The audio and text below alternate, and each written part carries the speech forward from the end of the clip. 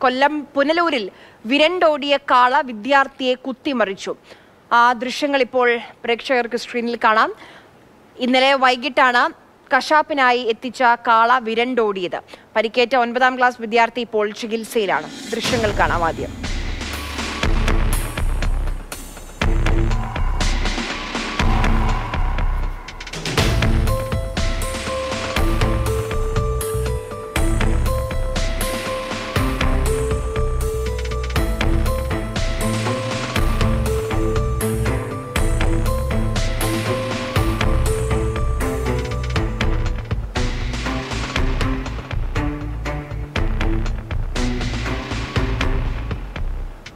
കണ്ണൻ നായർ നമുക്കിപ്പം വിവരങ്ങളുമായി ചേരുന്നുണ്ട്. കണ്ണൻ കണ്ടിട്ട് തന്നെ പേടിയാകുന്നു. ഈ കുട്ടിയുടെ ആരോഗ്യാവസ്ഥ എങ്ങനെയാണ്?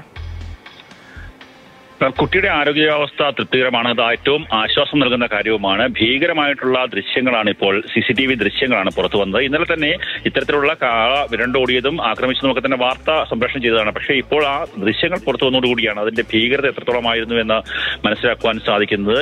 ഒരു കശാപ്പിലെ കൊണ്ടുവന്ന ഒരു കാളയായിരുന്നു. അത് പെട്ടെന്ന് വിരണ്ടോടുകയായിരുന്നു. ആ സമയത്ത് വലിയ തിരക്കുള്ള സ്ഥലമാണ് പുല്ലൂർ ടൗണിൽ. ആ സ്ഥലത്ത് കൂടി സ്കൂളിൽ പോയിട്ട് മടങ്ങുകയായിരുന്നു വി ഒമ്പതാം ക്ലാസ് വിദ്യാർത്ഥി.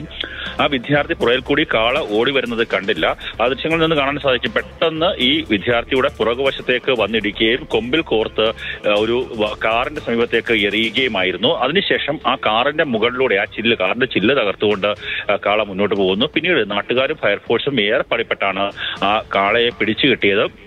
ഇപ്പോൾ ആശ്വാസകരമായ കാര്യം വിദ്യാർത്ഥിയുടെ പരിക്ക് ഗുരുതരമല്ല. കൈക്ക് ചെറിയ പരിക്കുണ്ട്. ഒപ്പം തന്നെ കാലിന് പരിക്കേറ്റിട്ടുണ്ട്. പക്ഷേ ആ ദൃശ്യങ്ങൾ കാണുമ്പോൾ വലിയ രീതിയിലുള്ള ഒരു അപകടം കുട്ടി- കുട്ടിക്ക് സംഭവിച്ചു എന്ന് നമ്മൾ സംശയിക്കേണ്ട സംശയിക്കുന്ന ഒരു സാഹചര്യം ഉണ്ടാകും. പക്ഷേ ആശ്വാസകരമായിട്ടുള്ള കാര്യം ആ കുട്ടിയുടെ ആരോഗ്യത്തിന് തൃപ്തികരമാണ്. ഇന്നലെ വൈകിട്ട് പുനലൂരിലാണ് ഈ സംഭവം ഉണ്ടായത്. അതിന്റെ സി ദൃശ്യങ്ങളാണ് ഇപ്പോൾ പുറത്തു വന്നത്.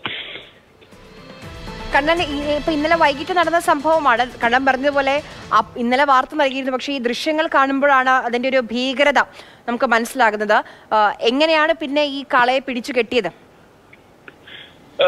ഇന്നലെ വൈകിട്ട് പിന്നീട് ഈ പ്രശ്നം ഉണ്ടായതോടുകൂടി ഫയർഫോഴ്സിനെ നാട്ടുകാർ വിവരം അറിയിക്കുന്നു. ഫയർഫോഴ്സ് അവരുടെ ഉപകരണങ്ങളുമായി എത്തി. നാട്ടുകാരുടെ കൂടി സഹായത്തോടുകൂടി ഈ കാളയെ കീഴടക്കുകയായിരുന്നു. സമീപത്തെ ഒരു അറവുശാലയിൽ കശാപ്പിനായി കൊണ്ടുവന്ന ഒരു കാളയായിരുന്നു ഇത്. അത് ഈ വാഹനത്തിൽ നിന്ന് പുറത്തേക്ക് ഇറക്കുന്ന സമയത്ത് പെട്ടെന്ന് വിരണ്ടോടുകയായിരുന്നു.